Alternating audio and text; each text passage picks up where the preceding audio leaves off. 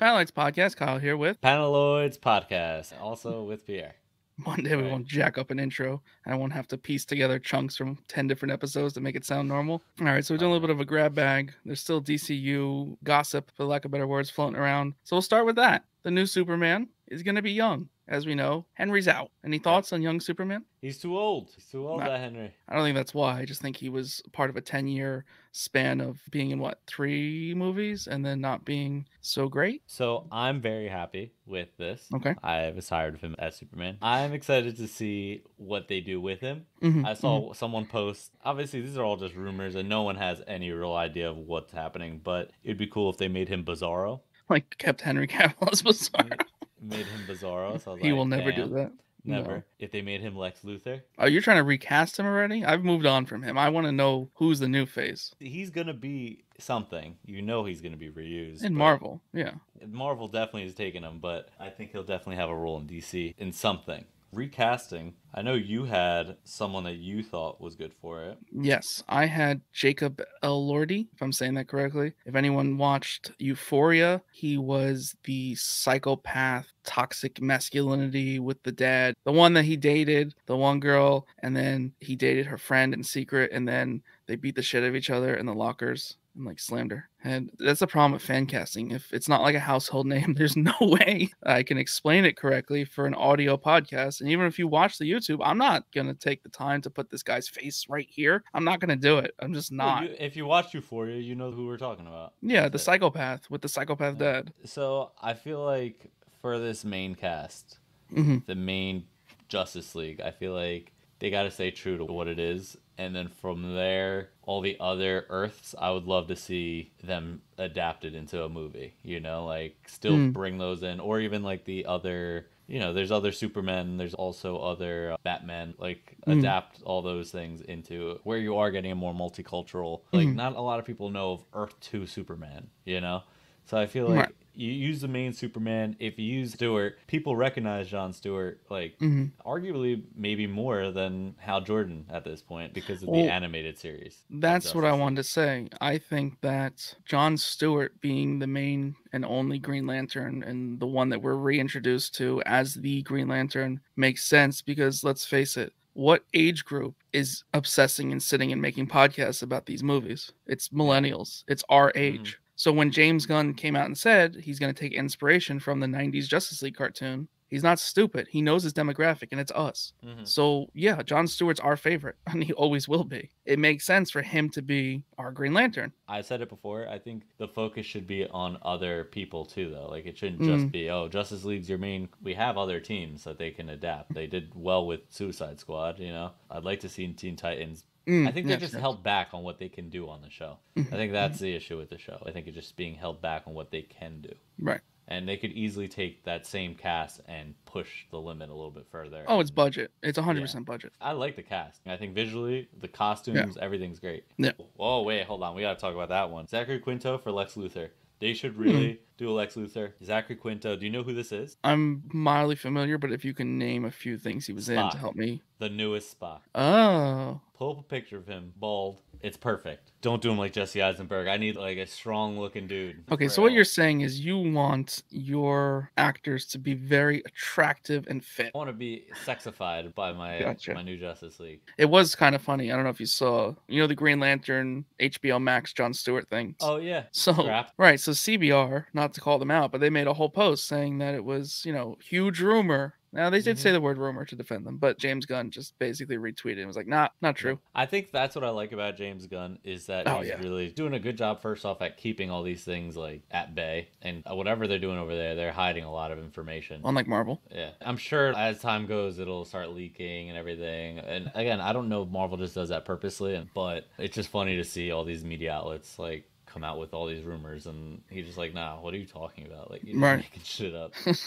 Like, which gives me hope. To your point, John Stewart, the '90s show. I think we're right. Like about this is Mhm. the start of the Justice League. We're gonna get an intro to John Stewart, and he's gonna be your central point to the team. I mean, I'd be cool with him in a sense taking the Superman role and Hawkgirl in a sense taking the Wonder Woman role. Oh yeah, you could always do Hawkgirl too instead of Wonder Woman. I mean, in the '90s, they both were there. I think you should have them both. I like the dynamic between everyone because Yeah. Flash is always like flirting with Wonder Woman. They got to do it up. Green Lantern eventually has a child with Hawk Girl. There you go. I think John Stewart, you start that off, you do the space thing, and then he Mhm. gets like a call, like, oh, we need you. Maybe Superman just landed or something like that. To shift gears slightly, I don't really feel like going through the whole list. Just Google a list, but I just wanted to note the spider variants in the Across the Spider Verse trailer. There was We're some cool late on ones. Yeah, we're super late on this. Happy New Year. Whatever. Stay healthy. But the cool ones to me were the '90s cartoon, Renew Your Vows. Like there was some oddball ones in there that you know I'm sure is only getting a second of screen time, but very cool. And the favorite? trailer. Who's my favorite? Ooh. Obviously, you're excited to see Miles Morales in another movie, but who would be your top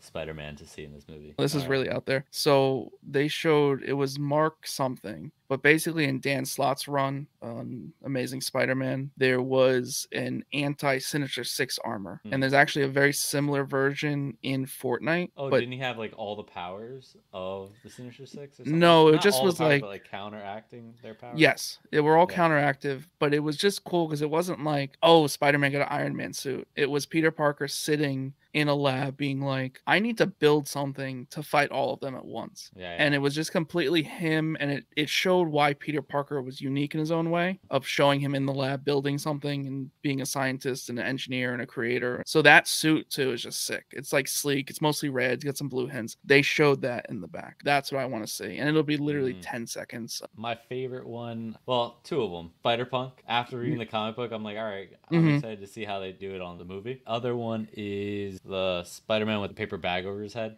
oh bombastic Yeah, where he loses his costume, like takes like Yep. a Fantastic Four costume. That is also Yeah. my second one. I have Yeah. the little action figure of it from when they did the Marvel Universe figures, Mhm. and that was like the chase, and like you couldn't find it, and Melissa actually bought it for me for like a hundred bucks on eBay. Oh, really? Yeah, like it's That's just like one of those things. Now there's more of them, of course, these different figures, but like that was the original one. It's like rare as shit. A Funko Pop of it. Oh yeah, I saw those. on Yeah, my Spider-Man wall. I know it's not going to be anything. It's just cool Right. to see it. I actually think it's going to be something in the MCU. When, Oh, you think they'll- like the Fantastic Four? He'll like somehow go through like the Baxter building. Like, oh shoot, where's my costume? to run with that, they will recreate that famous cover where it's Spider-Man sprawled out in the lab, and the Fantastic Four are looking up at him like I think it makes sense. Did you see that Amazon ordered a live-action God of War? Now, obviously, there's no information on it, but they own it. Who would they own it. fan cast as God of War? Kratos. Yeah. Part of me wants to say the voice actor, but I know he's a little older now. And I actually saw a clip recently that the original voice actor got recast because he wasn't big enough, and they were using the voice actor for motion capture as well, which is why the mm. games are so great. They're using the person's, you know, actual movement and body language. I mean, I'd love to see him. I don't know if you're familiar. He was in Stargate, like the original Stargate, like from the 90s. He had the gold thing on Oh, his yeah. head, but he could do it. And I know they're going to go younger because they're obsessed with going younger. Jason Momoa. What if I told you he's already been cast? I don't love it. I'm just I really don't. Cast. Yeah, I know. Really? The beard, I I feel it. like it works. I want someone naturally bald. Now, coming from someone with a receding hairline, am I being Mm. biased? Sure. Yep. But it's the same reason I hate fat suits. There's tons of great actors out there who can fit what you're looking for. Find it. Just not Vin Diesel. Don't put Vin Diesel. How great would that be, though? Family boy. It's about family. If it was just older God of War, like him Mm. being older, yes. If it was young Kratos, I feel like you'd have to adapt the story from like someone else. But Vin Diesel older Kratos wouldn't be that bad. You know what I wouldn't be opposed to? Full CGI. Batista. Oh, oh. Oh yeah, Batista easy. That's an easy shoe in, of course. Fine with that. But full CGI I wouldn't be opposed to either. Yeah, like what was that movie? I didn't give you I- anything. I- Beowulf. Oh, I actually never saw that, and I actually loved the book or whatever. It was the it all is. CGI, but like it was like CGI real. So Yeah, that's what I mean. And they're gonna do a like, Star Wars like that, Jolie, all this stuff. Like it, it looked good though. It was like right? it's a good movie. So I would do. I guess like it's that. just the game then, right? I guess if you're doing full CGI, it's just like You might as well just play the video. play the game. game. Yeah. All right. So that wasn't a great idea. Moving on. I know you're not super familiar with Greg Capullo, but he was the artist on Batman for quite a few years with Scott Snyder. Probably the best Batman run ever. Uh, Oh, look, there's your number one. Great. We'll get it signed and graded one day after I check the condition. So everyone knows he's going to Marvel. Now, when I say going to Marvel, it's not like super contract, super strict, but he did come out and say he's only going to do cover art. He doesn't want to work on a book at his age. He wants to do more cover art because he wants to get more stuff out there. I know he's working on a book, which I'm super excited for. And actually, a short story. So in Philly, we saw a panel of him, and it was maybe 20 people in the room. It was not advertised correctly. And Dimitri actually kind of got a question going. It was just like a little Q Q&A, but it wasn't. It was just a conversation with 10 people in Greg Capullo. He basically explained that when you're a new artist, because everything's digital, like his first thing he tries to teach people when they come to him and just like, oh, you're a veteran, like, what do I need to know? He's like, don't do everything digital. Mm. Make sure you're at the minimum making your covers on paper. And he said the sole reason is because you sell them. So I yeah. think that's part of it too, is he says, where's the money? Where can I do this big full page spread that's something beautiful, not like little boxes? He's doing his absolute best to get us the cool shit and probably put the most in his pocket as someone who's a veteran. I should start doing art. My Hero Academia. I don't know if you're caught up on the anime. I've been waiting for ah, it to no, come through dubbed. It had a weird kind of awkward start. Like it kind of jumped around. Didn't love it. It is fantastic right now. It is so great. And I know mm. there's more I can watch, but I'm waiting for the dub just because I try and keep to whatever I started as. What I wanted to mention was the manga. So 269 of the manga has a full double page spread with every character in it. And mm. if you look closely, you will find Chainsaw Man. Oh. Now, what's cool about this is when you go to the show, now that it's starting to translate through, like there's previews that was translated to the anime, it is not Chainsaw Man, it's Hacksaw Man. And it's some knockoff version of Chainsaw Man because they couldn't mm. legally get the right. But it's still cool. It's cool yeah. that there's a cameo that way, and there's a cool that there's basically a character inspired by him, technically floating in the My Hero world. He looks so, just like him, has like a chainsaw for a head the manga is exactly Chainsaw Man. The anime is a goofy hacksaw. Being that you've watched the new season, does it get darker? Do you feel like it's becoming more adult? Not necessarily a problem, but now that I'm watching Chainsaw Man, mm-hmm. I feel like it's hard for me to go and be like, oh, let me go watch My Hero because I feel like their first few seasons are definitely a lot more lighthearted until yes. he goes to like that one big, big fight. I 100% agree. I think there was a turning point. They slip in a few curse words here and there. I believe the movies are still based for young audience, but I believe the show is pulling away from that. I believe the manga has pulled away from it. I have some spoilers from the manga that when they translate through, there's no way it can't be dark. Mm. So yeah, I agree and I do think that, you know, it'll have its filler episodes that are a little goofy, but yeah, when the fight scenes are going on, that shit's serious and like mildly yeah. emotional. But yeah, I have been watching Chainsaw Man, so I feel like eventually I'll transition back to watching yeah, My Hero. Definitely Did you watch do. the latest episode, of Chainsaw Man? I watched it, but I don't want to talk about it yet because I have plans. We'll do a big wrap up episode for Chainsaw. Yes, that'll be the following episode from this, so make sure you subscribe. Speaking of all this anime, though, I did want to make note. I'm gonna just read off of this list of rumored and confirmed shows. Now we know when they do this, it's not always great, but here's a quick list of live action animes we'll be getting. The last Airbender. You can argue it's not anime, but it is. Mm, I'm not sure, but hopefully they do a good job. One Piece, we've seen a little bit of set photos of the boat.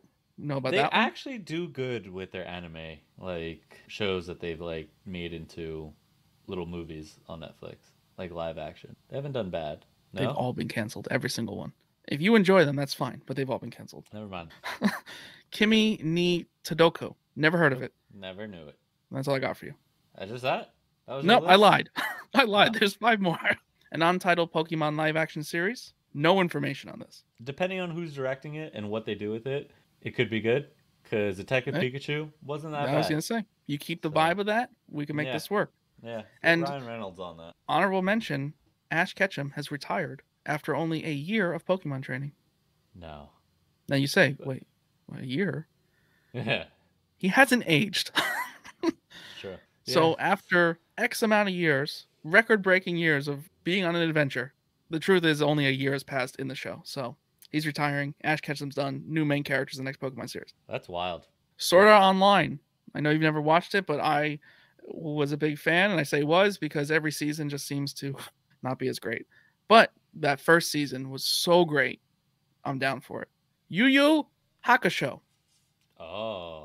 Yu Yu Hakusho. Also not familiar because I am a newly formed anime fan. Death Note supposedly getting live action. No Hmm. information. You never saw Yu Yu Hakusho? No. That was or before your Death Note. anime life. I mean, Yeah. you watch Dragon Ball Z. Not Yu Yu like in order. It was like Toonami days. You probably turned it off. I was more of a Gundam and Dragon Ball Z. It was like Yu Yu Hakusho, Gundam, Dragon Ball Z, or the Yeah. opposite way. It might have been like later on in the night, like Yeah. Yu Hakusho, like for the people that are older, twelve o'clock, the kids are in bed. the last one I'd like to mention, obviously full circle here, My Hero Academia live action series to be announced. And obviously we know the rumor is The Rock. I don't know. After I saw Black Adam, I don't want him in anything to be honest. I'm sorry, but he would be perfect for that role because that's exactly the way he is. That's the only type of That's true. rock that you get. But do Yeah. you have him shrink down to the skinny version? No, Just completely no, always stay main. CGI. side? You remember Fat Rock? Again, I hate that. Yeah, So that's honestly my biggest problem with my hero is I don't like that All Might drastically changes form because they never really explained why he can't hold his muscular form and he goes to the skinny version. Mhm. ready for a wild one? I would make Rock the main full Mhm. All Might, and I would make who's that guy that was rumored to be Doctor Doom, who was in Star Wars? Uh, Gus from Breaking? Bad. Yeah. Yep, yep, Giancarlo yep. Esposito. I As would the make him version? as a skinny version. You know, I was gonna argue you for no good reason and thinking about it because All Might's demeanor drastically changes too. Yeah. Like he plays a character when he's buff. Damn, Yeah. that might actually be solid. How fire would that be? That would be pretty They'd good. never get it. The Rock already is the most expensive thing that they can Yeah. put in that. So Yeah. you already know that the show's going to be shit because they're spending all their money on getting The Rock. So I actually made a TikTok about this, but I want to tell you about it because you probably didn't watch it. Donald Glover, the hypno hustler, right? We saw this rumor. Sony under the Marvel Sony banner. I- it's a fake name. That's all it is. They're using the name Right. and they're just like, oh yeah. That's my big him. theory, Yeah. and that makes me think maybe a Prowler movie or maybe a Miles movie. Can you imagine if Donald Glover starred and wrote and produced and directed a Miles Morales movie and then popped up as the uncle as the main villain? It'd be perfect. There's nothing even else to talk about with that. Like that just would be the dream of this rumor. Uh, that's not a thing. That's like, who the fuck would want to see Hypno Hustler? Yeah. I don't even think Bad Bunny's movie with the wrestler. I don't think that's a thing. I don't know how that hasn't just gone away. Like that's still apparently active. What if they're lying to us about that? And he's someone else. Who would he be? I don't really care about him to be honest. I know he makes a lot of fucking money on concerts though. Good for him. I was gonna say, oh, maybe they make him Miguel. I mean, listen, I do see them leading towards not a Sinister Six like they already said they were. Like that was their plan, right? They're building this Sinister Six movie, basically building an evil Avengers in a sense, right? Like that was mm-hmm. their idea of like building up to that. But I do see more of like a superior foes of Spider-Man, which I don't know if you're familiar with that run. I didn't read it, but I know enough about it. It's basically like a lighter hearted kind of they were a little team and they weren't necessarily evil, just not necessarily great. So I could see them trying to lead to something like that. Can you imagine if they got a James Gunn style movie going with that though? Like with all the villains from the Sony verse? Like they bring back Morbius, but like in a funny way. I don't want to see Jared Leto ever again. yeah, no, that's fair. All right, fine, you're right, you're right. I'm I never sorry, even saw Morbius actually, so I shouldn't even like judge it. It's, But it's it's worth putting on in the background. It's not painful to watch. It's just generic as shit and poorly written, and the dialogue's bad, and the acting's subpar. Yeah, I maybe just skip it. Honestly, it's funny that you're bringing this up, and the whole time I'm not even thinking about that movie. I'm like, ah, I gotta watch Bullet Train. Gotta- that was good. That's in my mind right now. The two movies I don't care about that I should, because you know we're about comic books and stuff. Black Adam and um, Trash. Morbius. Trash. I'm gonna just skip them and I'll just go watch Bullet Train. no, Bullet think- Train's good. Highly recommend. I want to watch it just to see where Bad Bunny's acting skill is. And since you've watched it, You're not gonna see it there. That's for sense. sure. Okay, so then. And you know the best part is? I didn't know that was Bad Bunny until you just told me. Next theory I just wanted to throw at you was there's a little Deathstroke rumor that maybe Mhm. even giving that actor who was Deathstroke, who got cut from everything, giving him a chance under James He Gunn. should. He's perfect. Bruce Wayne.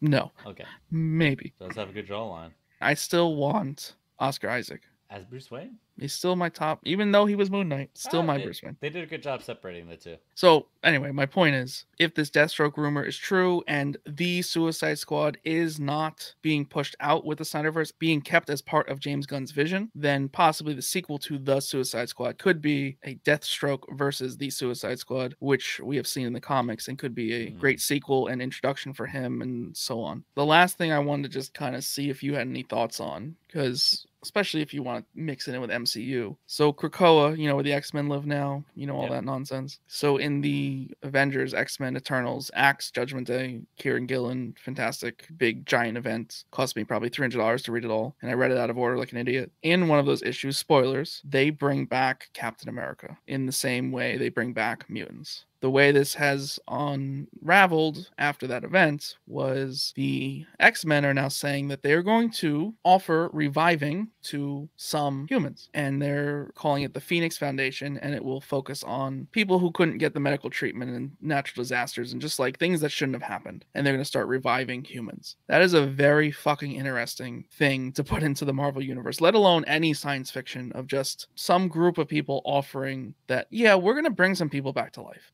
with the X-Men ending up in the MCU in the future, possibly maybe thinking about Krakoa in the future if they go and ever get to down that path. Because let's face it, they're not rebooting the MCU. It's an interesting thought that this could be a way they bring people back to life, not only in the comics, because in the comics they kill them, someone takes their role for six months, then they come back, and then there's a new number one, and everyone bought the last number one and the number one before that. So my thought is they might have given themselves an easy way to bring people back in the comics, but it might be something that down the road they use in the movies to bring back Robert Downey Jr. for, you know, a small part in a movie. I don't like it, but you're Yeah, right. it's interesting though. It makes it very easy to do that. Like, what are we doing with the X Men? Like, make them do something. Like, uh, all they're doing is just bringing themselves back. Krakoa is coming to an end, that's for sure. I thought that was the end. Now you're telling me they're going on another venture. Yeah, it's not over yet. back. Uh, I think that this could be the way things backfire. I don't know. I'm liking what the X Men's doing right now. Yeah, so Paneloids Podcast.